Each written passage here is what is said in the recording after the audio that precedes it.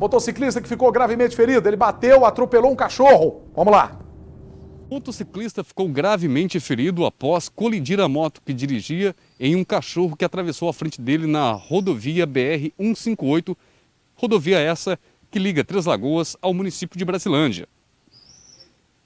A vítima seguia na sua motocicleta por volta das 18 horas e 50 minutos, quando, ao passar pelo pontilhão da linha férrea que passa sobre a BR-158, o cão acabou entrando na frente do motociclista, que não conseguiu frear a tempo, atropelando o animal, sofrendo uma queda e sendo arrastado pela moto.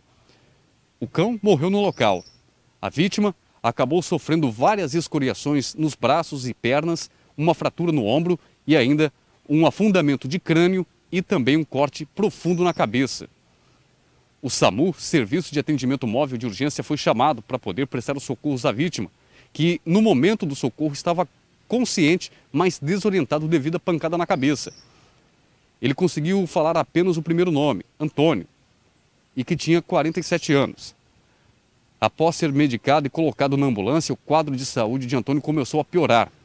A unidade de suporte básico do SAMU deslocou em código 3, código de emergência, para a cidade para encontrar a unidade de suporte avançado, para que fosse feito o remanejo do paciente e ele tivesse um atendimento médico mais avançado.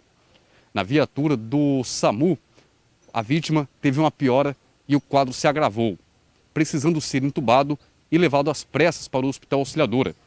Devido à grande demanda que está tendo o hospital por conta dos casos de coronavírus, o leito de UTI acabou demorando 40 minutos para ser disponibilizado para, para a vítima, que teve que esperar dentro da viatura.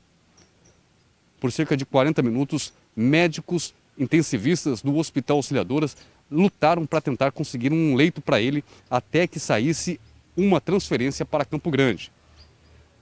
Durante esse final de semana, tentamos contato com o Hospital Auxiliadora para tentar saber sobre o caso de saúde desse motociclista, mas até então a assessoria de comunicação não tinha a identificação dele para fazer a pesquisa e informar as condições clínicas. A PRF foi até o local e registrou o boletim de ocorrência aqui na DEPAC, a Delegacia de Pronto Atendimento Comunitário. Após a remoção da vítima, a moto do local e o animal, o trânsito foi liberado. Por cerca de 40 minutos, o trânsito ficou bloqueado para o socorro dessa vítima desse acidente na BR 158, aqui entre as Lagoas.